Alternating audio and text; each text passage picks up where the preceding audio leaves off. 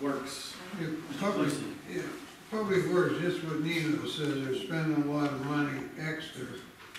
And, uh, we got this project on Bar Hill with that wall.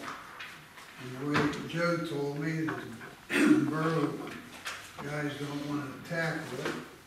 And I feel they should be able to, to save us some money, because you put that out on bid, it's gonna be a big buck. Mhm.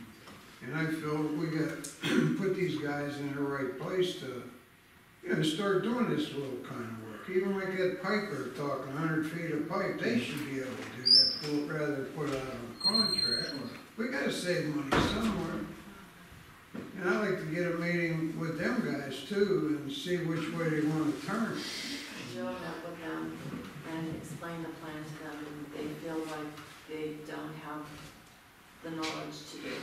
They, they don't feel like they, they can tackle it, And we can't, I mean, I, I understand, comfortable with I that. understand where they're coming from, I mean, we can't, yeah, it might cost to have somebody come in and do it, but how much would it cost if they said, they bit off more than they can chew, and they go and do it, and all of a sudden, Well, you could hire somebody to come in just to handle, just to let them do it. if that's the case, then yeah, that's the what case, I that's a do. I different, that's a mean, whole different. Somebody that knows something will come in and tell them, hey, I don't know if here. somebody would do that, Oh, yeah, you get, you get people to that's something we got to look Guarantee into. Is the idea you're putting forth perhaps to hire somebody on a very short temporary, like for, just to oversee this little project? Colts, consultants. A consultant kind of thing, is that the idea? That's what I'd get, somebody. He wants these organized as laborers. Right, and hire a consultant to That's what I. supervise them and show them, this is how you do it. Right.